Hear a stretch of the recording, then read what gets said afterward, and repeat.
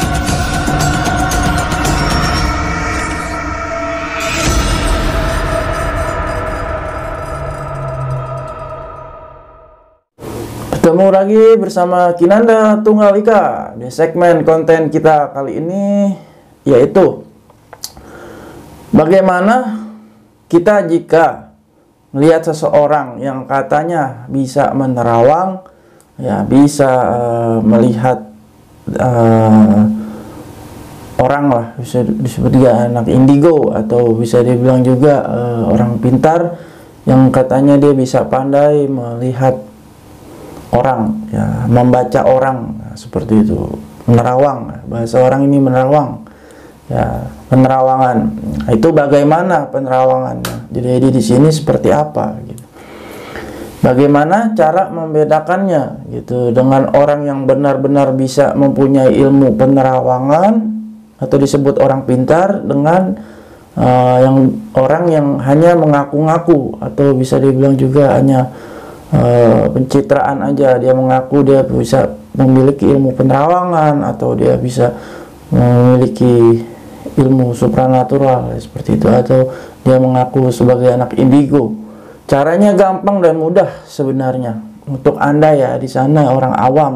Yang pastinya orang awam gitu. Tapi kalau untuk orang praktisi supranatural atau spiritual yang benar-benar mempunyai kebatinan tingkat tinggi atau mempunyai benar-benar ilmu ya ilmu supranatural ilmu gaib gitu kan.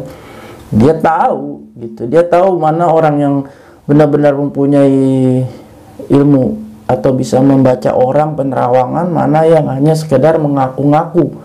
Nah inilah perlu kita cermati. Di sini saya mau berbagi pemirsa sahabat kinanda saya mau berbagi pengetahuan dalam channel saya konten saya ya itulah salah satu ikon dari channel saya ini yaitu saya memberikan pemahaman edukasi ya mungkin selama ini orang-orang awam atau para spiritualis praktisi juga ya belum bisa mengerti paham ya selebih dalamnya misteri-misteri atau ya hal-hal tabu yang belum pernah bisa dicapai atau di dipikirkan ya seperti itu. Nah, jadi kita balik lagi ke konten tadi ya, ke tema tadi. Nah, jadi bagaimana cara membandingkan gitu orang yang katanya benar-benar bisa melihat atau bisa membaca membaca batin orang atau membaca ya, masa depan apalah bahasanya disebut penerawangan. Nah, itu bagaimana? Nah, satu kalian nggak usah bingung gitu. Kalian nggak usah kadang terpikir. Ya kadang memang kita suka melihat eh, asistensi orang oh dia katanya pintar membaca pikiran orang. Oh dia pintar katanya meramal pintar menerawang meramal atau menerawang gitu. Seperti itu ya. Satu aja gitu.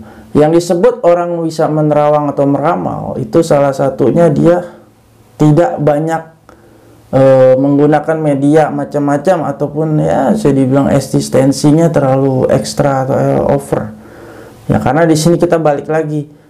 Kembali yang namanya orang punya ilmu atau bakat atau bisa dibilang uh, anugerah lebih ke arah supranatural atau gaib itu berasal dari inner personal dia sendiri. Nah ini saya selalu katakan berulang-ulang inner personal dia batin dia. Nah, di sini media walaupun ada itu hanya sebagai perantara. Ya, bukan berarti dia ilmunya tergantung kepada media. Nah, itu salah ya perlu diingat pemirsa. Di sini saya kasih pemahaman yang sangat berharga dan sangat membuka kita pengetahuan khususnya dalam dunia spiritual atau dunia gaib. Gitu. Nah, jadi itu nggak perlu. Kalau yang benar-benar bisa melihat atau menerawang dia langsung bisa membaca hanya dengan menatap wajahnya saja ataupun juga kalau misalkan jarak jauh Nah, ada yang bertanya melalui media foto aja dia udah bisa melihat ah, kisah-kisah orang tersebut, terus masalah apa yang sebenarnya terjadi. Uh, misalkan orang bertanya kan kadang mencari uh, mencari tahu karena manusia normal atau orang awam itu dia tidak mempunyai kelebihan atau anugerah seperti orang-orang disebut orang pintar atau paranormal atau anak indigo yang bisa menerawang. Makanya dia suka bertanya kepada orang pintar dia pengen tahu. Nah itu bagaimana bisa kita menilai benar-benar yang memiliki ilmu atau bakat seperti itu? Itu dia bisa langsung membuka nah ini kuncinya dia bisa langsung membuka titik poin masalahnya atau titik poin yang terjadi nah dia bisa bongkar dia bisa ungkapkan apa yang sebenarnya terjadi Nah, kadang orang suka bertanya juga kan ke orang pintar atau ke paranormal. Nah, ada juga orang yang malah menceritakan katanya dia bisa melihat, bisa uh, menerawang, meramal. Malah dia dikasih jawaban mutar-mutar gitu, mutar-mutar. Ya, kadang yang bukan poinnya orang itu ingin didapat, dia malah cerita ke mana-mana. Nah, ini kadang membuat juga orang yang bertanya atau pasien itu menjadi pusing Nah, kadang suka saya dapat uh, curhatan lah ya. Saya sudah suka dapat curhatan dari pasien saya sendiri kadang uh, seperti itu gitu.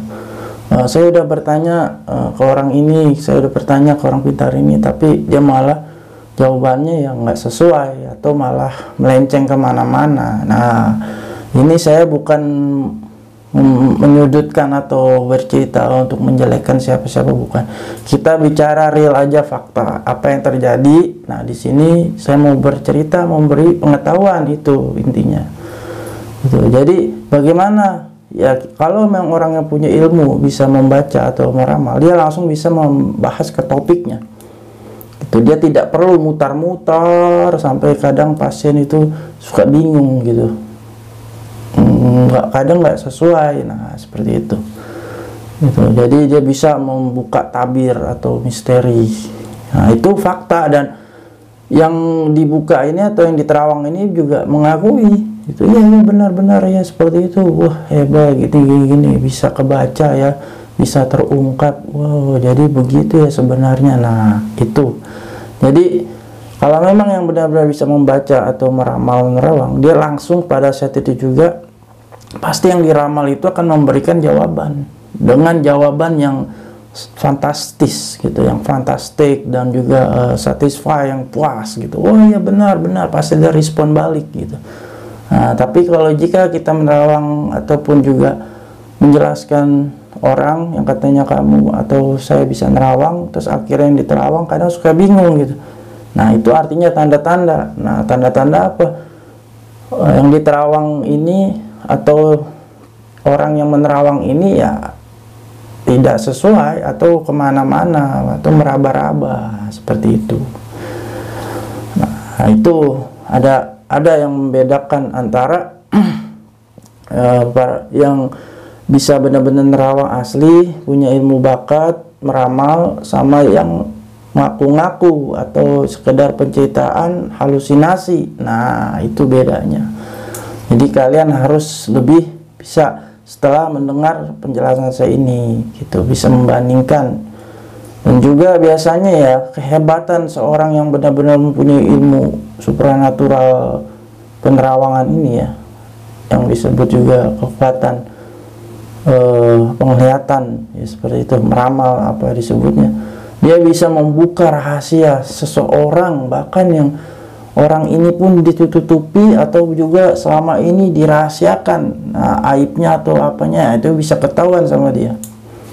Nah kenapa dia bisa seperti itu? Ya karena ini salah satu kekuatan supranatural. Ya dia bisa menembus dimensi yang kita punya sifat kita punya karakter kita punya niat pikiran nah batin kita punya maksud apa itu dia bisa kebaca Nah, makanya kalau bertemu untuk orang yang benar-benar punya ilmu, nah ini kalian bisa kebaca semua.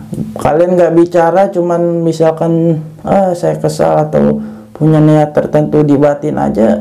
Kalau bertemu dengan orang yang benar-benar bisa menerawang atau melihat ya seperti itu, dia bisa terasa, dia bisa tahu kalian usah perlu ucap dia udah tahu. Nah inilah kehebatannya gitu.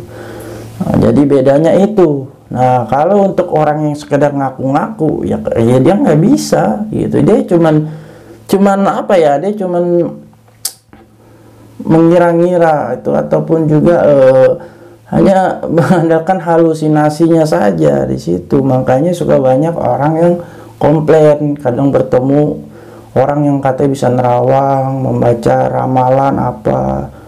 Banyak cara. Sekarang ini banyak cara dalam praktisi supranatural media-media yang digunakan. Ya banyak juga banyak cara. Gitu. Yaitu masing-masing style masing-masing gaya. Ya mereka punya apa gitu. Tapi di sini satu yang saya jelaskan. Kalau praktisi supernatural itu sebenarnya simple. Kalau yang benar-benar mempunyai bakat anugerah dia nggak perlu sebenarnya terlalu over menggunakan media apa-apa. Dia cukup menggunakan kekuatan inner personal batin dia. Nah ini di sini batin kekuatan dia. Di situlah gitu. Makanya dia bisa melihat tanpa media apa pun. Contoh dia hanya menatap diri kamu aja langsung ataupun tidak langsung. Contohnya tidak langsung tuh jarak jauh misalkan. Orangnya langsung bertemu kita tapi hanya menggunakan foto dikirim lewat WhatsApp atau apa media sosmed. Dia bisa lihat apa yang sebenarnya semua yang ada masalah dari orang tersebut atau rahasia karakter dia gimana uh, hati dan pikiran dia gimana baik atau orang ini jahat uh, orang ini mempunyai perasaan yang tidak baik atau enggak itu bisa kebaca Nah, itulah makanya di sini kadang kenapa orang ini suka banyak keliru menilai orang gitu. Yang mana yang benar-benar bisa mempunyai bakat menerawang sama yang halusinasi. Nah, di situ banyak sekarang muncul orang-orang yang dengan mudah bilang, "Eh, saya bisa nerawang, saya bisa meramal." Gampang, semua pencitraan itu gampang tapi yang memberikan e, pengakuan atau yang memberikan penilaian itu adalah orang-orang yang sudah kali yang sudah dibantu ataupun orang-orang yang sudah ditolong yang sudah merasakan dan melihat satu kelebihan atau e, bakat talent yang dimiliki yang orang yang sudah dibantu dia yang menilai. Gitu. Itulah orang yang tahu orang ini benar-benar punya kemampuan gaib supranatural atau enggak? Tuh. Ada satu faktor lagi yang kadang juga uh, bisa orang yang bisa nerawang ini yang benar-benar asli bisa menerawang punya bakat ilmu talenta itu bisa juga uh, dia tidak bisa menjangkau atau menerawang orang lain atau meramal orang lain. Kenapa? Ada satu hal juga. Nah ini faktor berdasarkan orang yang di Terawang ini memiliki juga kekuatan gaib ya memiliki kemampuan supranatural juga ya artinya dikatakan levelnya lebih tinggi atau yang pendamping atau disebut juga kodam yang di Terawak ini itu lebih besar powernya, lebih besar ilmunya. Nah, tebal dia punya shield, dia punya protection tebal. Nah, itu tidak bisa diterawang atau juga tidak bisa diramal lah, susah gitu. Jadi untuk praktisi yang mau meramal ini jadi agak sedikit kabur-kabur nah, susah untuk mendapatkan poinnya untuk mendapatkan informasi yang didapat dari kekuatan batinnya seperti itu. Nah, ini ada satu faktor juga dari hal ini gitu. Nah, itu. Tapi tidak semua yang di terawangnya itu seperti ini, hanya orang-orang tertentu aja gitu. Tapi kalau orang yang mengaku-ngaku bohong atau pencitraan aja yang ngaku orang pintar, yang ngaku orang indigo, yang ngaku orang bisa nerawang meramal, itu setiap yang diramal, setiap dia terawang tidak ada yang pernah benar. Selalu melenceng dan selalu meleset. Nah itu. Ada juga yang berpatokan dari buku nah ini saya kasih tahu orang beramal itu sekarang banyak juga berdasarkan ya kayak macam contoh ya maaf ya zodiak ya, dari dari acuan atau patokan tertentu. Ya buku-buku seperti itu. Ya tanggal lahir ini berapa uh, bulan berapa.